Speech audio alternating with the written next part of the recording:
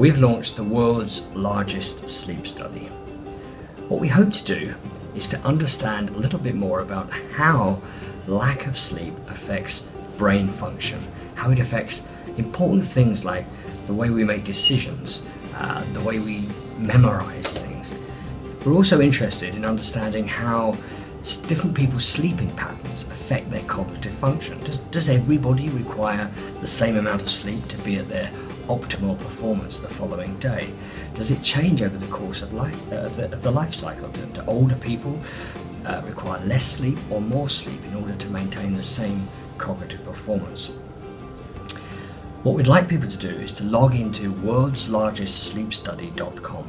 We already have tens of thousands of people are contributing scientific data about their sleeping patterns and about their cognitive performance, doing these simple tests of brain function that will tell us how much sleep do you need for you to be at your absolute best tomorrow.